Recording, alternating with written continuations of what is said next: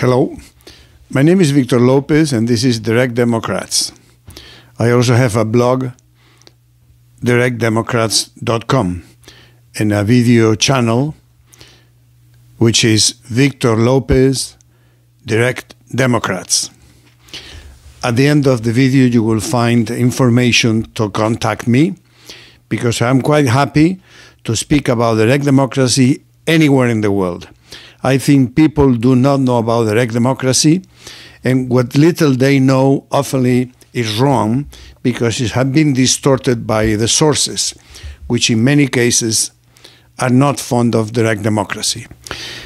When I refer to direct democracy, I mean basically that the people have the last word on any law, any policy, any treaty, or the contents of the Constitution that the people are the final authority. Direct democracy does not necessarily mean that the people decide everything, but that the people have the power to decide anything they want to decide, and that not even the Supreme Court of the country could overturn, let alone the legislature or the executive. Now, the model I use for direct democracy is Switzerland. Switzerland is not a perfect direct democracy because it still has important elements of representative democracy. But I like to refer to Switzerland because it's basically the only country with a long track record of direct democracy at all levels at the local level, at the canton, which is equivalent to a state, province, or region, and the national level. The only other country that is approaching Switzerland and that has been inspired by Switzerland is Taiwan. Yes, surprisingly, Taiwan. Taiwan did something amazing. In a few decades, it evolved from a right wing dictatorship to a representative democracy and now has many very interesting elements of Swiss direct democracy. Uruguay, a small country in South America, also has important elements of direct democracy. But I like to refer to Switzerland because Switzerland has credibility. We all know that Switzerland is probably the most stable country in the world, economically, socially, in almost any respect, and ranks number one in many indicators. And of course, is the most developed democracy in the world because it has direct democracy. Representative democracy is a huge advance over the dictatorships, over totalitarian regimes of one party, one person, one religion, but is not real democracy because in a representative democracy, the people decide only one essential thing, which is who will govern. Once the person who governs is in power, the person or the party, those people can basically do anything in between elections unless they have a minority government, in which case they have to rely on some other supporters. But if they have a majority, what you have in representative democracies in the United States, in Canada, in France, in the UK, in Germany, with minor differences, is almost absolute power. If, for example, in the United States, which many people refer to as an example of division of power, in the United States, if the president and the Congress are on the same side, that means controlled by one party, it's just like any other country. Why do I refer to Swiss direct democracy? Because I believe that Swiss style direct democracy makes better decisions than representative democracy. And I'm going to refer also to why that happens. I'm going to try to explain it. And hopefully, if I don't persuade you, at least I hope to put in your mind the curiosity about studying direct democracy more. And those of you who live in countries like the United States, where you do have at the state level a measure of direct democracy, please do not think that Swiss direct democracy has a lot to do with American direct democracy. It's very different from California direct democracy Oregon, direct democracy, and the other two dozen states that also have important elements of direct democracy. That does not mean that direct democracy in the states is, should be discarded, but direct democracy in the states have many problems.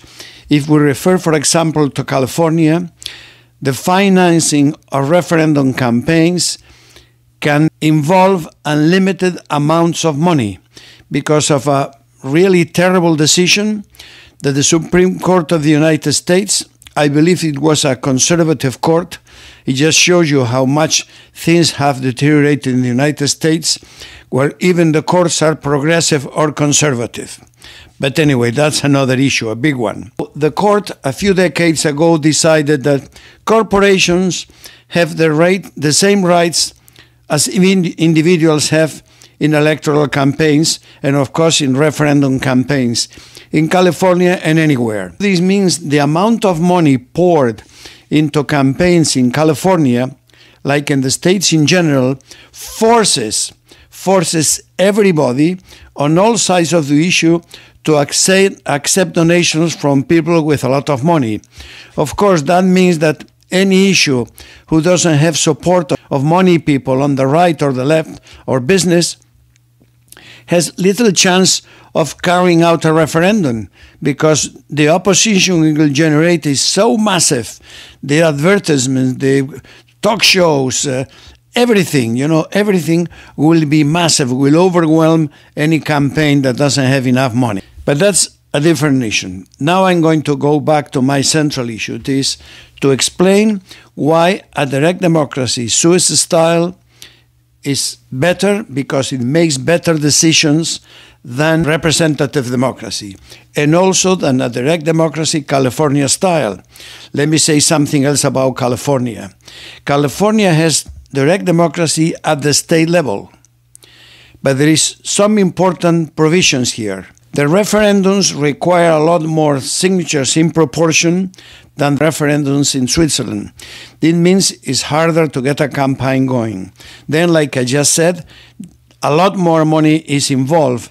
And also, and not less important, is that in some cases the legislature must approve the issue going to referendum, but perhaps the worst one is that the Supreme Court judges of the California Supreme Court or the United States Supreme Court can invalidate the results of a referendum if they estimate that they contradict the Constitution of California or the Constitution of the United States.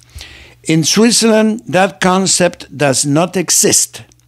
In Switzerland, wherever the people decide goes home. The people made the constitution as they go.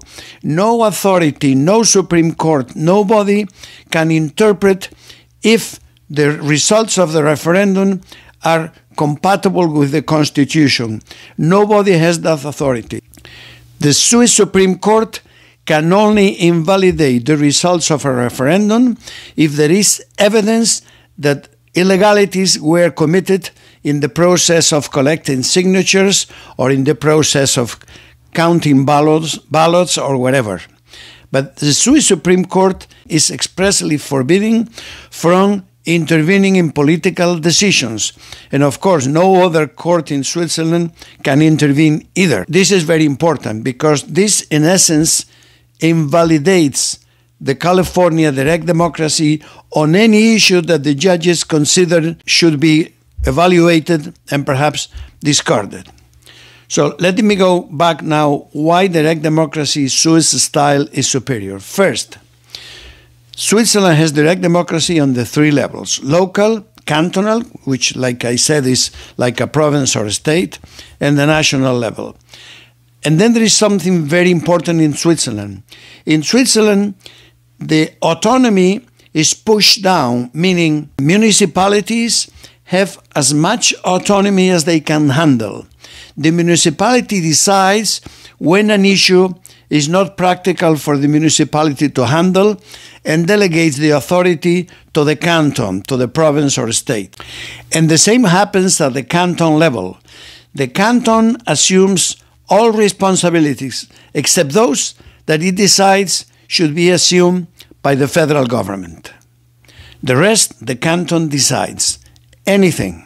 If you want to know more details, you can look at some other of my videos or perhaps go on the internet uh, about these characteristics of, of Swiss democracy.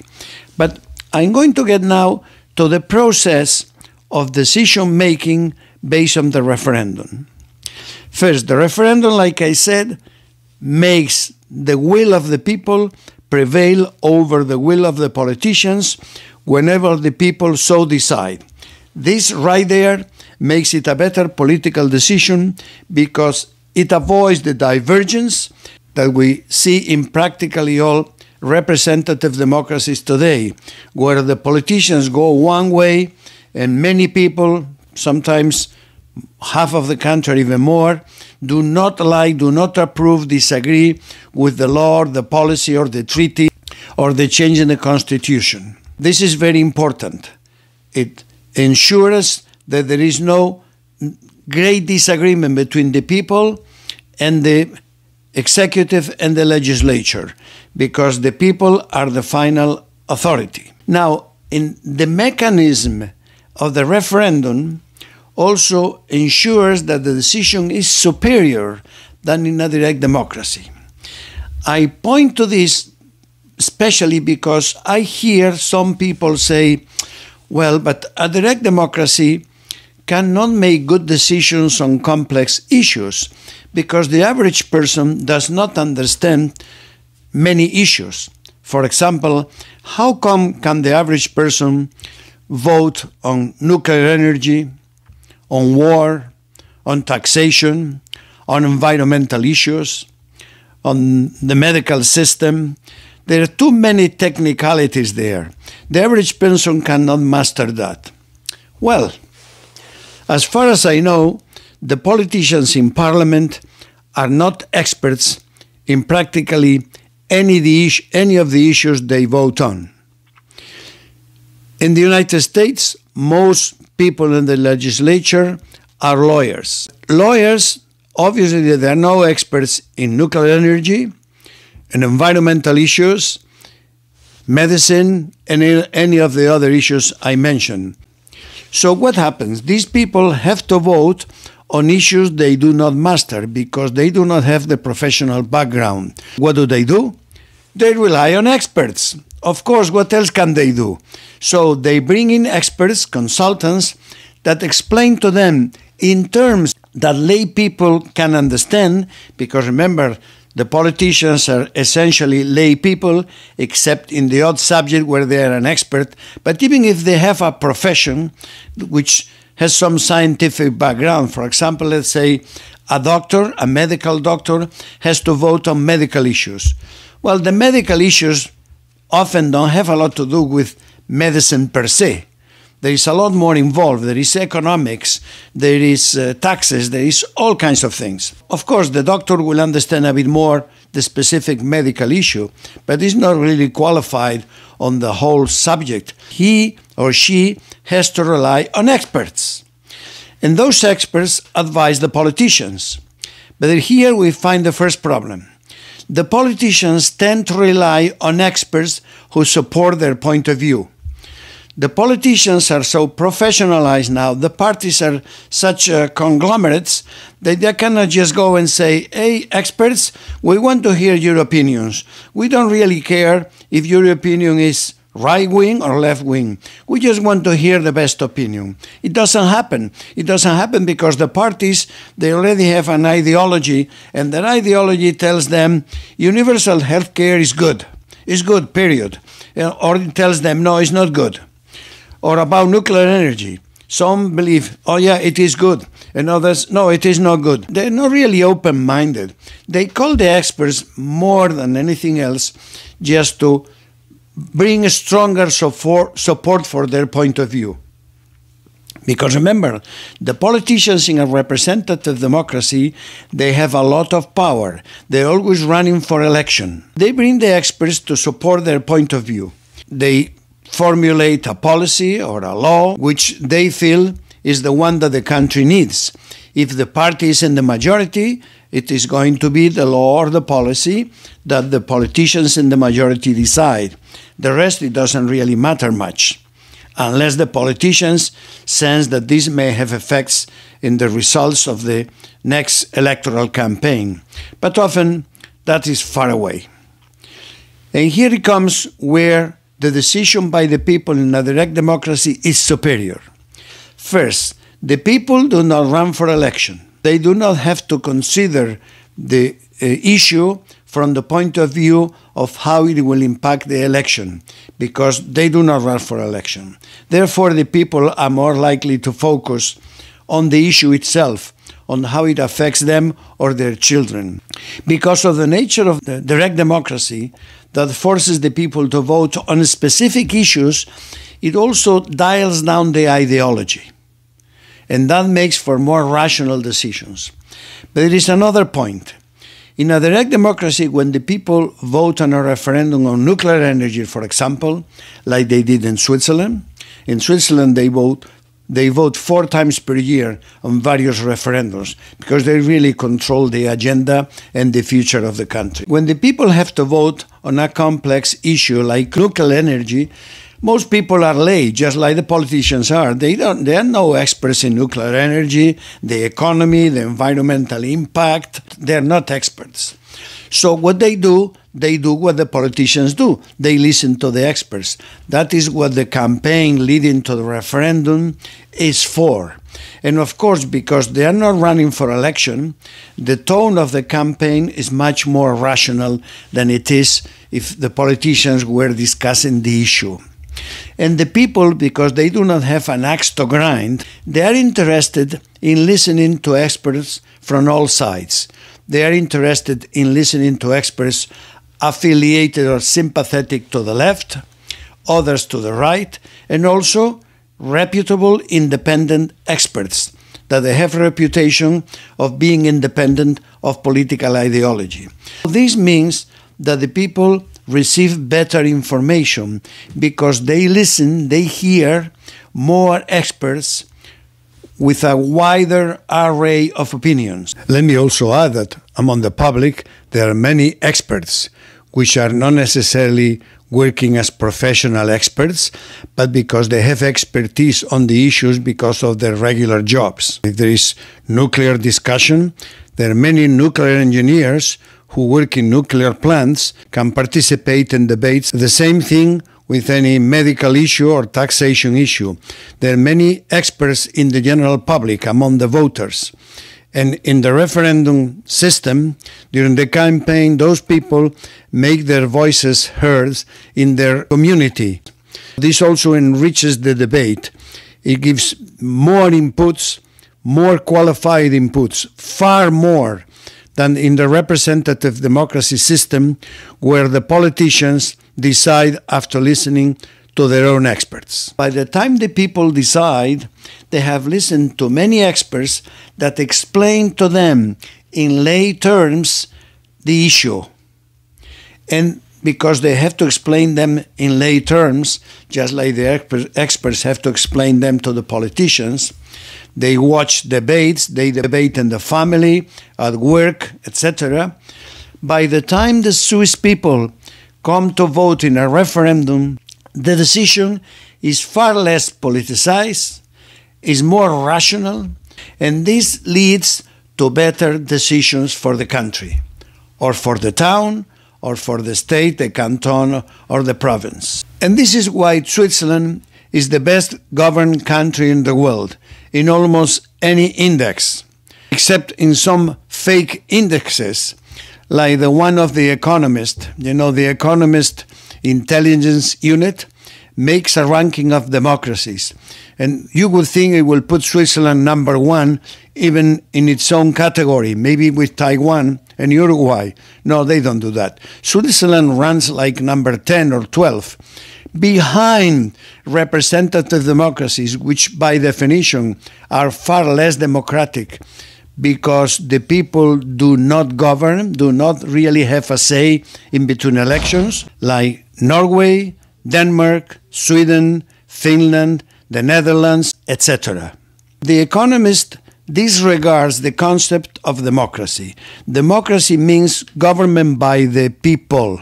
It doesn't mean government by the people when the people agree with my pre thought ideas about what democracy should be, which is what the economist does. Government by the people means the country in which the people have more decision making power is clearly the most democratic regardless of what we think of their decisions. Because of direct democracy, Switzerland is better government, has a very high standard of living, is the most politically stable country in almost any area, is very dynamic, very innovative, has very low taxes, and manages also to have with low taxes, the best healthcare system in the world.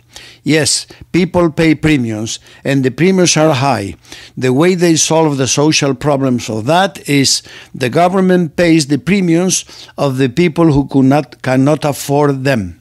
It is obvious that the direct democracy system is better. The decision by referendums of big issues is clearly superior. Going to war I think probably all countries in the world, they wouldn't go to war unless they're directly attacked. I'm sure the Russians would not go into the Ukraine if they had to decide it themselves, if the people decided. Because the issue in the Ukraine is not as big for the average Russian to send himself or his children or her children or herself to die in the Ukraine. It has many other benefits naturally, because a referendum is a popular decision, the Swiss system has also a built in mechanism. If opinions change with time, people could initiate another referendum. And let me say something else about why the direct democracy system is better Swiss style. If the feeling of the country changes, any person can initiate another referendum which could overturn the results of the previous referendum. Now, the Swiss are not making referendums every other month. People are smart enough and they realize, well, this point of view won in this referendum. We have, back, have to go back to the drawing board, or well, we'll just wait until things naturally perhaps evolve. But they have this mechanism of, again, adjusting what the law says to the feelings of the people, to the feeling of the majority about what is appropriate. For example, in Switzerland, they do not have the controversy they have in the US about abortion because the people decide the issue and because it is a really democratic decision decided by the people, the side who loses the argument has a stronger motivation to accept the decision or to wait until, because of education or other circumstances, the feelings of the community change and it's time for another referendum. See, it's a democratic decision because the people decide, and then forces the people who do not like the decision to accept it because it is a democratic decision. The decisions made by politicians in parliamentary democracies are not democratic decisions.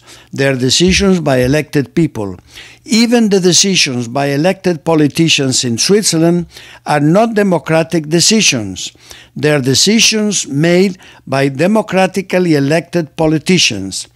But the decision in Switzerland has its legitimacy, is democratic legitimacy, because the country has in place the mechanism that enable the people to stop any law, any decision by the politicians. Although in reality, the politicians pass laws and decisions and policies that most people agree with, and therefore they do not challenge them.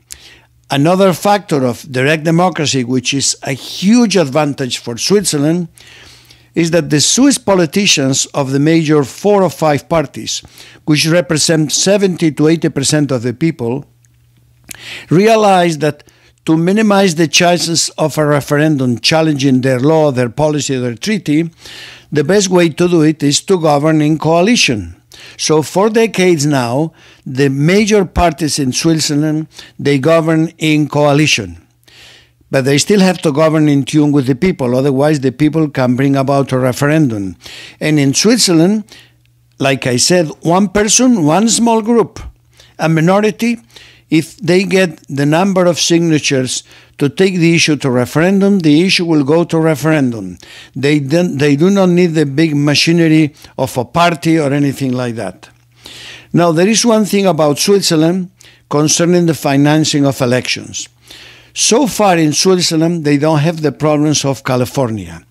I do not know if it's because of the political culture of Switzerland, but in Switzerland, big money does not play the role that it plays in California or in the States in elections. Elections are expensive, but the, this situation where a politician to get elected has to accept money from big business or big donors on the left or the right or the proponents of a referendum have to do the same thing has not arrived. Nevertheless, there is movement in Switzerland to be more transparent on financing of political campaigns, referendum and non-referendum. But so far, it's not a problem. The other reason why Swiss style uh, direct democracy makes better decisions is the principle of subsidiarity. That means that decisions in the Swiss political system by the politicians, they're also made at the closest level to the people.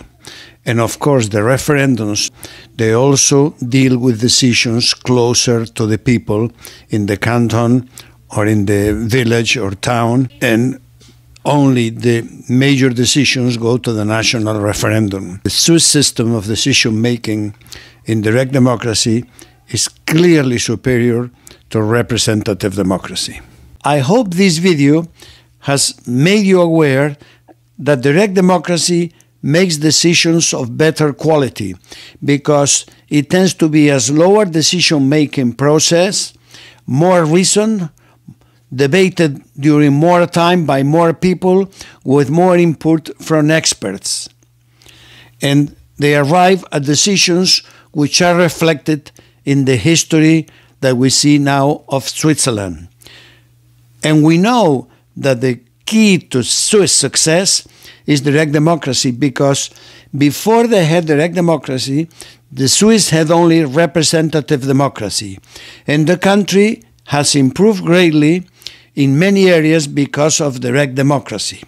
I must also say, Swiss politicians in the 1800s, when the people pressured for direct democracy, Swiss elected politicians, that was a representative democracy at the time, did not want direct democracy. Why? For the same reasons they don't like direct democracy in the United States, in Canada, in France, etc. Because in a representative democracy, the politicians have a lot more power than in a direct democracy. And the lobbies don't like it either because in a representative democracy, the lobbies have a lot more power too.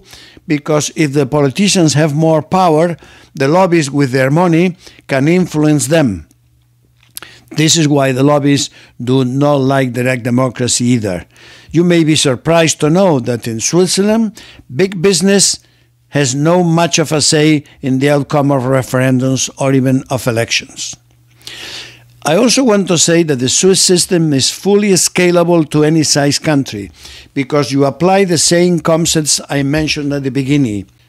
Give as much power, as much autonomy as possible to municipality, the city, the town, the village, the canton, the province, the state, and they do all they can. This means that if the country is bigger, all you have to do is you'll have more municipalities, more states, more cantons. The Swiss system will work in France, in Germany, in Italy, in the United Kingdom, in the United States, in Canada, in India. India is already a representative democracy, but even will work in China. Of course, the Chinese will have to get rid of the Communist Party, but if they follow with their fellow Taiwanese, the fellow Chinese in Taiwan have done, China also could be could be a direct democracy. And of course, that will be the great door for China to become number one.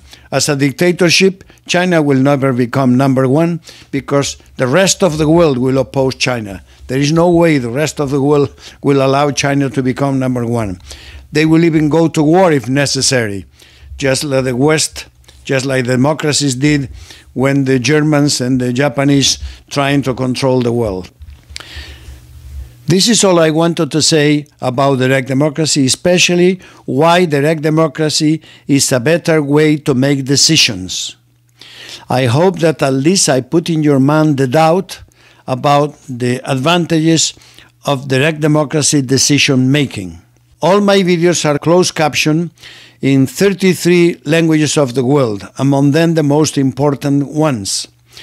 I put closed captions so that people who have difficulty understanding my English, either because their English or my English, can understand it better. Again, I'm happy to go anywhere, any place, anytime to speak about direct democracy, to debate direct democracy, to be interviewed about direct democracy. My mission in life now is promotion of direct democracy because I do not have the slightest doubt that direct democracy is the great advancement we need in democracies in the whole world. But in democracy will be easier because we know the Swiss did it too. They transitioned from representative democracy to direct democracy. I am convinced that direct democracy is an advance over representative democracy, just like representative democracy is a colossal advance over absolute kings, dictators of one party or one person, uh, theocracies, and all those other systems, which in my view, they are inhuman. Thank you very much.